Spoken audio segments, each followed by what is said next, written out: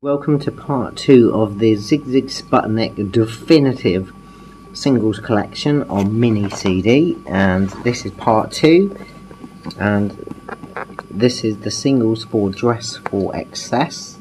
Next single, Albinoni vs Star Wars.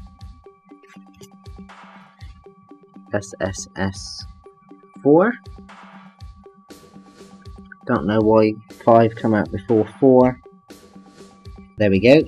And in here, obviously we have the 7 inch A and B side. There's the label for the 7 inch.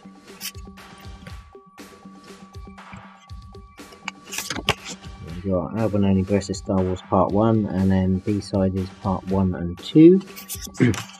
and there was a Melody Maker advert for this as well which was horrible quality um, which I've gone and redone using the colours from the single. Sputnik, Albinoni versus Star Wars, another classic from Parlophone. So there's a little copy of the Melody Maker advert for that. That's the 7 inch in its mini vinyl form. We have the 12 inch of uh, versus Star Wars one of the few where they didn't really bother doing much different with the covers. All the others, you know, from Love Missile with its OD strips and uh, various versions of sing singles and sleeves and whatever. Uh, they didn't do much with this one, to be honest. So They pretty much got the same covers and labels but you've got part 1 extended and part 2 extended on the 12 inch. And what I've done here is I've done a slightly different change to Albinoni vs Star Wars where I've got some rare mixes.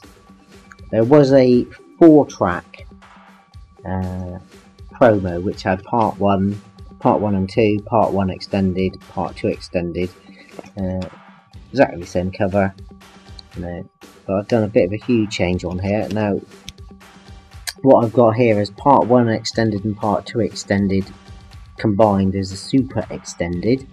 Bonus beats from the original CD. There's an acid mix. Now this instrumental part 2, mix 1 and mix 2, and there's a vocal mix uh, 1 and 2 of parts 2 of Albinoni vs Star Wars. Now it's the only tracks. I honestly cannot remember how I got these but these actually sound like early DAT remixes possibly from Tony James's DAT. Um, completely different. They are you know very much different than the single. Sound like their um, working versions or demo versions. So what I've done with this is I've put those on just so I've got a second 12 inch um, and done the label in red basically. But the bonus beats I know where that came from because that was obviously from the original CD single. And uh, here we have the original Albinoni vs Star Wars CD single.